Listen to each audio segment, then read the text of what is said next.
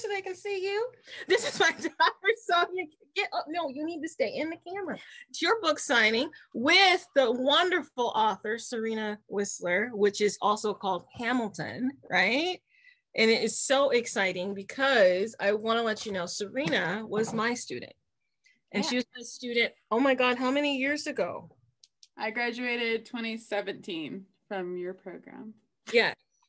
And, but you were my student way before that, right? Yeah. So it's been a, yeah, a long journey at and and um she was getting her master's degree at Chapman and I remember you mm-hmm. told me your story of mm-hmm. being a foster kid which she wrote in this wonderful beautiful foreword right that she wrote inside of this book and then she did all of the art and illustrations it is so pretty with my brother editing it and everything. And it's like absolutely amazing. And I told her as a surprise, I need you to draw my daughter.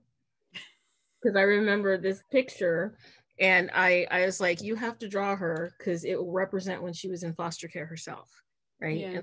look at the beautiful job that she did on my daughter. This book gives me goosebumps because you know I, I wanted a matching set one from each child but also this this tells the journey of someone who you know, um, didn't get to pick her family, right? Like you didn't get to pick yours, right? And then she came to my life. She told she my daughter made me realize it's been almost 20 years, right? That she has been in my life. That we've been together and we've been two little peas in a pod ever since, right? So I could not have birthed a daughter that is more my daughter than my daughter. Right. and so, and if anyone's ever seen us, you know this. So, and but I am just so proud of my daughter, and she's at USC now and wants to get her doctorate of putting this together. She went through cooking school and she made all these recipes. I've eaten them all. We've all eaten them all. And in this book, and making something nutritious for foster kids, right? And so one of the things I wanted to do, besides sign a few of these books, is also have each of you tell you tell your story about this journey so that people can really understand that this is not just a cookbook, right? This is really something more, you know? So Serena, do you want to go first? Because my daughter is always very shy. um, so like introduction, talk about the just talk about the process, who you are just a little bit. Okay. Um, well, just a little bit is uh, my name's Serena, and I am um, a clinician, a therapist, a crisis worker, a former foster youth. Uh, I was in the LA County foster care system from age 12 until I aged out at 18.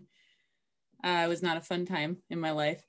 Um, I have been working in this field as a, as a clinician or as a mentor or as a therapist or whatnot for the last decade and trying to advocate for other foster youth who never were adopted, never kind of found their footing.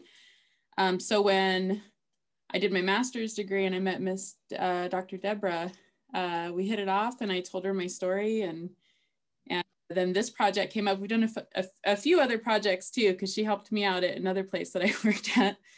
Um, but uh, when she told me about this project, I was really excited because this is a huge issue in the foster care community that we don't really talk about.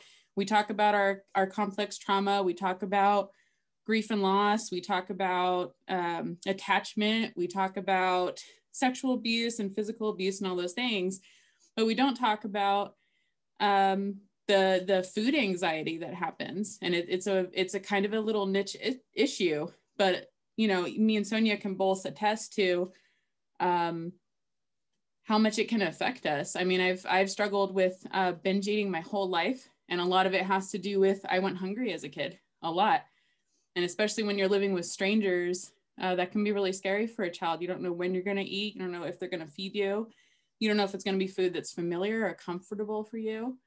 And so um, when I wrote the foreword, it's a little personal, uh, but I really wanted to kind of drive the point home uh, because besides the other things I went through, this has been a struggle all the way into my adult life, trying to learn how to eat healthy, learning about nutrition, learning how to take care of my body.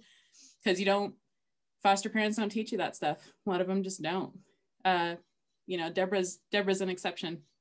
I had a lot of bad parents, and uh, I just hope that this book reaches the right kids and uh, helps them to learn some things that we should have been taught, you know, when we were in those foster homes. So I'm really grateful to you, Sonya, for writing it. And I'm really grateful you guys let me do the illustrations because that's my other passion in life is art. And uh, yeah, I just love you guys for doing this. Yeah, it's like right behind you, the sketches that we started with. Yeah, I put I put the original artwork up in case anybody was interested. That's how it looked before it was in the book. is it absolutely beautiful. Like when you sent the first sketches we were like oh my god that's it! Because usually my brother does all the art and she's like yeah. i can really do this. I can really help you. And i'm just like okay you know what? A foster youth the art. Like it's all my brother my son is putting the book in there. It's it's like all coming together right you know since since day one. It's like kismet of how you know she's like I, am gonna do this cookbook? And i'm like okay we're gonna do this book, cookbook. And you know me i finish a project but it's like it, it all went together. But sonya you introduce yourself and talk about it? Okay. Um so this well okay i'm sonya. Um i am currently at usc i'm in a master's program for hospitality and tourism. The um, focus is on food and beverage. I'm also a food service manager with the LA Unified School District. Um, this kind of came about because of my final capstone project for the master's program. I knew already what I wanted to do before I even started the program, which was target foster youth who age out for careers in hospitality. Um, because a lot of the stuff that we learn in foster care can be applied to the things that hospitality uh, people do so that, you know, some of the things that I included with that was like adapting to change very quickly and having to kind of adjust and, and work with a lot of different kinds of people, especially when you're bounced from home to home, which I was. Um, I don't know about Serena, but for me, I was in foster care for about four years before being adopted. And I moved eight times in four years. Mm. Um, so it was, it was a lot. Um, but then, you know, the book came along. She, she wanted me initially to write about my life I don't think it's that interesting. So uh, I went with what I knew and what I actually love. So we got the cookbook. Mm-hmm.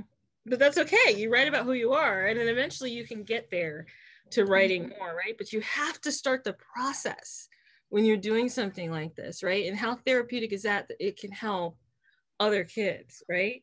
Mm-hmm. But I'm curious, like, what was the process like for you, Serena? Because it had to bring up a lot, like you know, putting it into your art, and you're you're channeling that in a different way, and you're an LCSW, like you know, uh, well, actually, what is it in a what is your I'm license? An, I'm an LPC intern.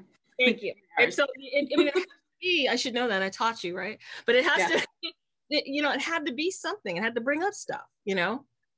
Uh, yeah, definitely did, and and that was um, I'll say that was the difficult part for me was um, when we initially talked about it, and we talked about the importance of sharing our actual stories and the and the kind of the nitty gritty of it, not sugarcoating, not treating it like um, you know give it give it its due of how impactful it was. Um, I included in the forward um, my father's death by suicide and because that that's what kind of started my my journey into into foster care and and and all of the issues that I struggle with now. So that started. Uh, he died when I was four and a half, and then I entered the system at twelve um, when my mom just couldn't do it anymore.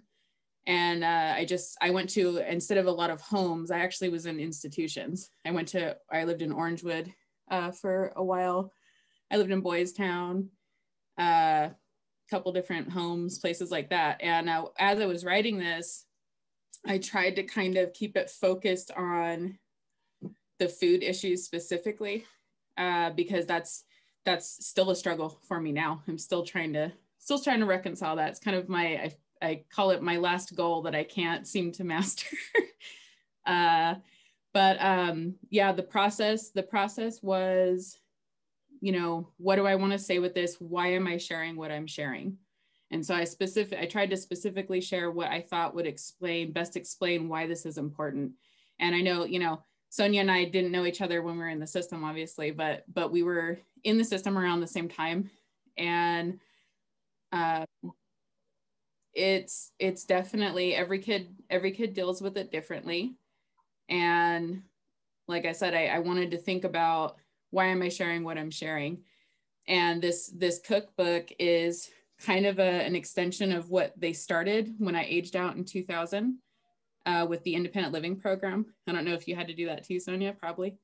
Uh, but the independent living program uh, was was also kind of venturing into this place of like these kids are leaving the system at 18 years old and expected to just know what to do. Where are you going to go? How are you going to take care of yourself? Figure it out later. And 60% of us go homeless at that point. Um, and then we're the next generation that you pass on the street and we're sitting on the sidewalk and we don't know what to do. And uh, I was homeless for a while and you know it's it's uh it's it's just really important that even if we can just help one aspect of it just the food part uh, that's great um, as an lpc like you said deborah like that that's the bigger part that i try and advocate through is i i specialize in in foster kids who have complex ptsd and are cutting themselves and and have all of these different ongoing issues because of system. And and so um, it's important that we talk about these things and it's important that we talk about it in a way that is uh, real and, and how it really feels and how it takes, you know, I'm nearly 40 and I'm still struggling with food issues from being a foster kid.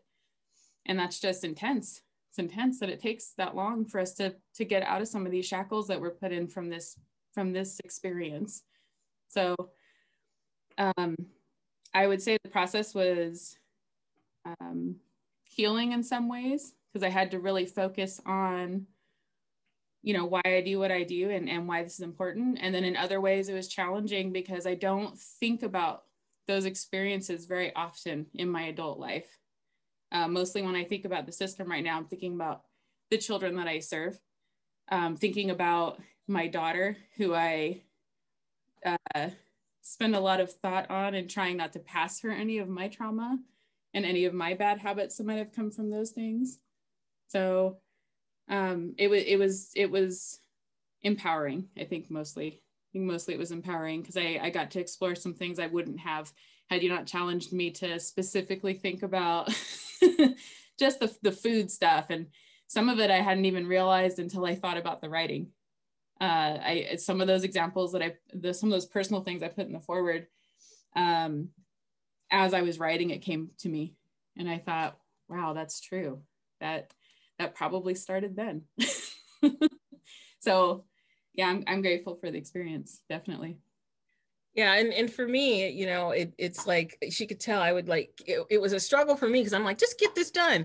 And my husband, you know, even said he goes, that's not so easy for her right? And it's so and she would she would look at me and then when she get frustrated and i'm like but i need this. Like what i don't know why? You know you and you even told me she's not there yet. You have you have to realize the process is very different because you don't have the same life pattern right?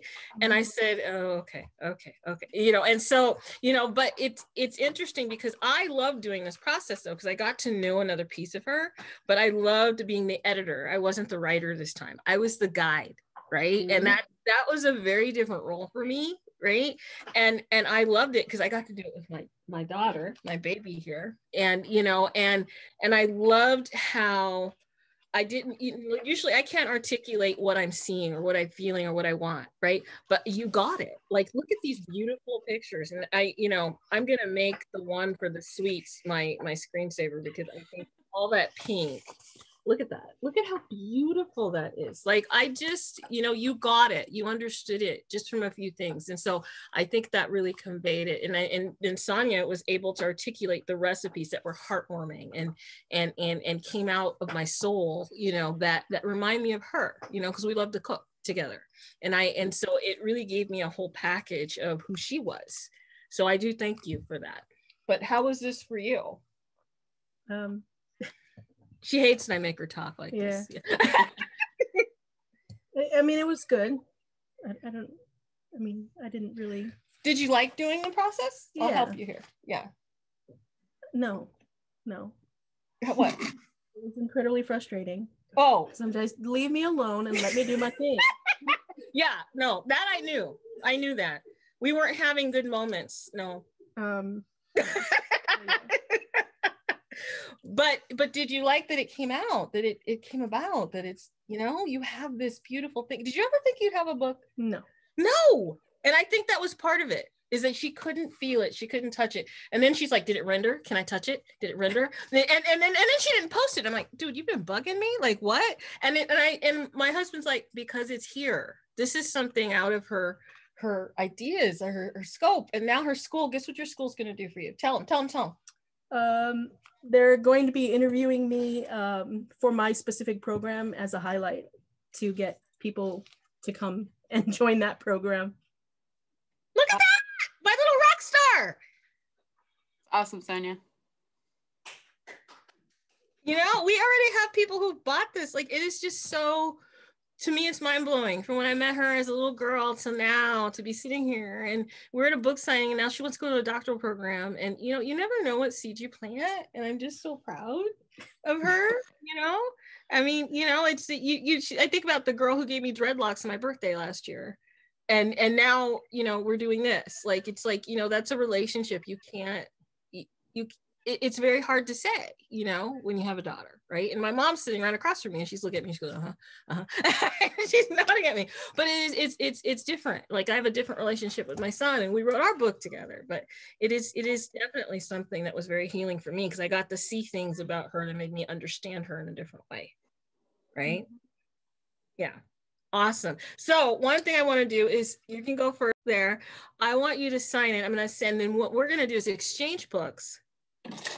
Get screenshots, my wonderful tech people, so we can blast them out. So hold it up. We're gonna we're gonna um, sign these, and then we're gonna exchange so that all of us will have a signature of all three of us signing books.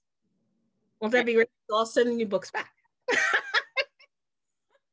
and then you'll be getting other copies that are yours in the mail next week. Awesome. So go yep. ahead, sign it so I can see you do it, and then we'll do the same thing. All right. Does it matter where I sign? It's up to you. I usually sign in the harder part. Like, the, yeah, because then it won't get erased. Inside cover? Yeah. Okay. I don't know if I can sign it up like that, but I'll show you. yeah, show me when you're done then. Okay, hold on. If your husband's there, have him take a picture of you. There you go. That's perfect. And then my husband's gonna take pictures of us doing it, and then we'll send them for social media. Okay, perfect. And then stage one, what your husband wants to sign. Can you put that up again one more time, Serena? I'm sorry, I was trying to take a screenshot. And then go ahead and talk so that your face comes up as the speaker. Hi. Perfect. Signature in the book. Right, right. Smile. Got it. Thank you. All right, so we're gonna do ours. So I'll, we'll, I'll sign. Now Sonya's gonna sign, so you have to scoot over so they can see you in the camera, honey. Okay, sign so they can see you're doing it, and then we're gonna hold it up. Okay, all right, get in the camera. And we have to talk, right? Can you see it? Yeah. Yes, I can see it. Yay! Hold it, smile, big smiles. We're talking, we're talking, we're talking. Woo! Yay! Yay. Thank you. and then my husband took some. Hold on, Lawrence. Copy. Oh, special copy. We're gonna send it to Serena. And we're gonna we're gonna sign another one later so that we all three will have one. Mm-hmm. and and then it will be a round robin, right? Yeah. So which mm-hmm. is kind of cool. So um now I lost my train of thought, but that's okay.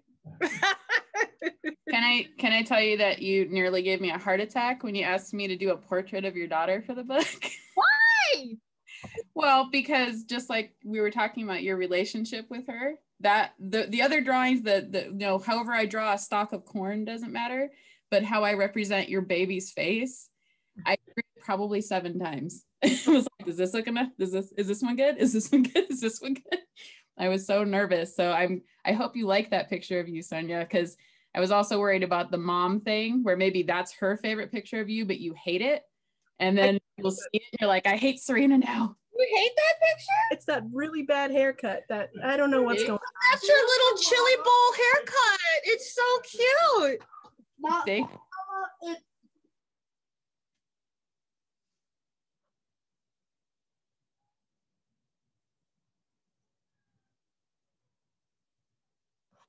Okay, Lawrence is trying to tell us stuff, and we're trying to talk. He's saying I, she uh, looks better than that. Yeah, I, I, I, like it though. You like? You I do? Yeah. I but, almost betrayed. Huh? I said I almost betrayed you, Deborah, and I was gonna. I thought about it for a minute. I was like, I'm gonna send her and say, "Is it okay if I draw this picture?" I didn't do it though. I didn't You do it. Should have because I was gonna leave it as a surprise when it came in the box, and then my Yeah. husband told her on accident. So I was like, Wasn't Okay. me. but I like this picture because this is kind of what she looked like when I met her. Mhm. So it, you know, and I thought this is when she was about in foster care, but of course I had that all wrong. But I wasn't around then, so you know I could get it, things mixed up. But but I remember, and I told my brother, I said David, and David wouldn't do this. He's on here somewhere. I said, Hey David, put a turtle on her shirt. She likes turtles, and he just completely ignored me, like completely. And then he gave her teeth and sent it back to me. Mhm. He's probably thinking that's more for you than it is for her. Mhm. but we have a few minutes. Is anyone have questions um, that you want to ask? Like, what's the fit best recipe, or you know, questions about anything that we talked about, or anything like that? Why don't you guys tell us what your favorite recipe is? According to Lawrence, it's goulash. Wait, my son's gonna tell you. How's that? Come here, Lawrence. He's dying to be on the camera, anyways. Okay, put your head right there. The goulash is the best. Oh, okay. We'll have to try that one then.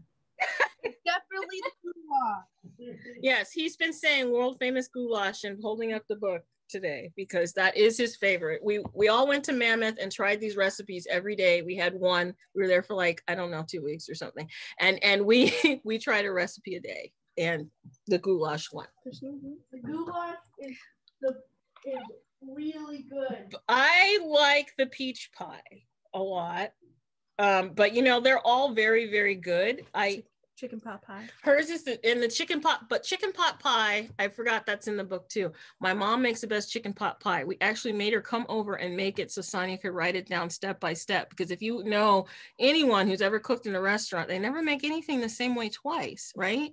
And so we're like, okay, well, what do you do? What do you do? She's like, "I just put a little bit more love in it. What, what does that mean? We don't know what that means. She's all put the secret ingredient. What is the secret ingredient? Oh, it's a little more sugar. Oh, okay.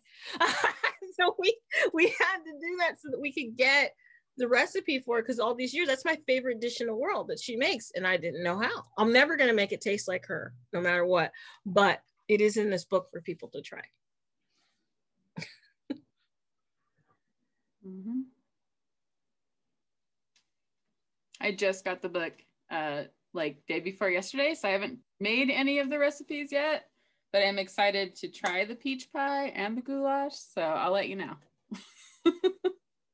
They're quite yummy. And if you put the goulash in um, a sourdough bowl, then all the extra sauce, you can like eat it. Like it's so yummy.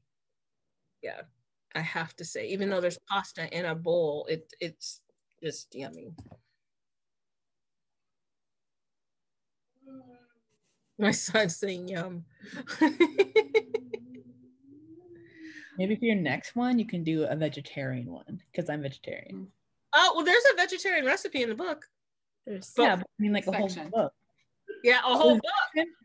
Okay, I didn't know there's. tried to get them to do something like that and they weren't listening to me. But see, now you've asked for it, Christina.